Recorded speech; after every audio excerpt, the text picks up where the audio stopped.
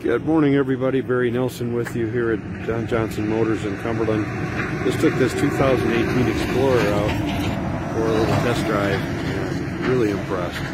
This is an XLT trim level with everything on it. Leather, navigation, heated seats, heated steering wheel, green management system. And the kicker is it's, it's not only a, a very family-friendly vehicle, but it has an an inline four-cylinder turbo in it that really gets some great horsepower and some fantastic gas mileage. So it's not a bad commuter vehicle either.